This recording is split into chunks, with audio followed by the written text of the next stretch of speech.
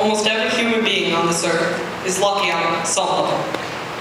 Unfortunately, as can be seen with all the people worldwide who are forced to sit through long graduation ceremonies in mid-June, some of us are blessed with more luck than others. Living in Winnetka, Illinois, where the median income per family is well over $200,000 per year, and which is noted by CNN as having the fourth highest average income in the country, we seem to be particularly blessed. We live in a beautiful town with a fine public school system and people who generally reach out to help others. We have teachers that plant seeds of inspiration in us so that we can make a difference in the world.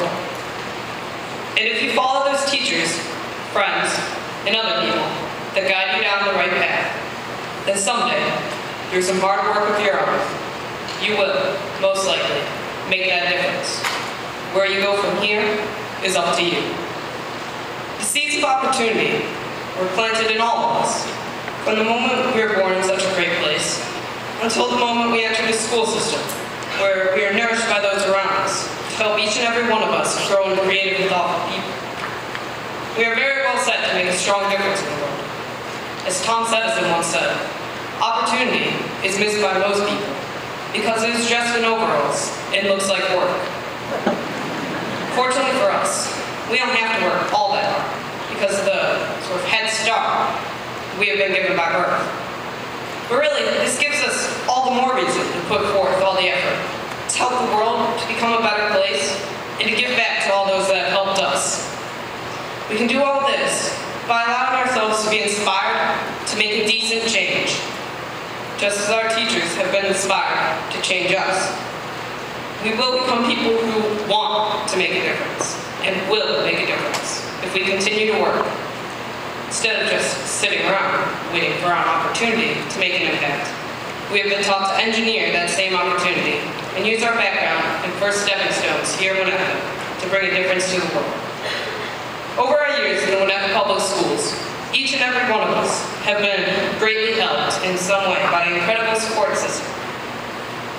Our teachers are carefully chosen, so instead of struggling through class, we revel. Great teachers now spark the chain of events that lead us where we will end up in later life. A good teacher now may get you interested in, say, science, because you learned about the life cycle of chickens and eggs in first grade. So then you're sucked into science.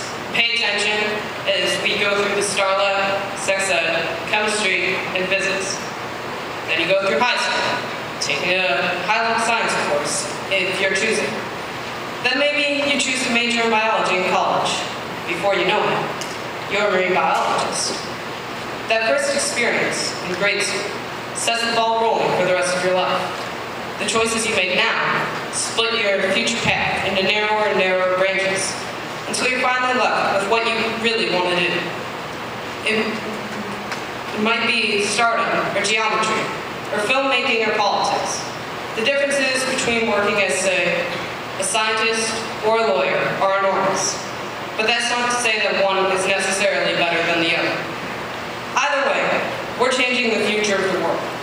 While scientists may stop a disease, or invent seedless watermelons, a lawyer may save a wrongly accused victim, or rightly accused one. What we choose to do now, with the opportunities that we have been given by the people around us, means everything. And what we should really be thankful for is that these people, friends, faculty, even strangers, inspire us to do anything at all. Because after we leave the enclosed little bubble of Washburne, we are set to face the real world, where we all have to fight for ourselves to a much greater extent. And as a very beloved writer, Dr. Seuss, once said, you have brains in your head, you have feet in your shoes. You can steer yourself in any direction you choose. You're on your own, and you know what you know. You are the guy who will decide where to go. Have fun at high school.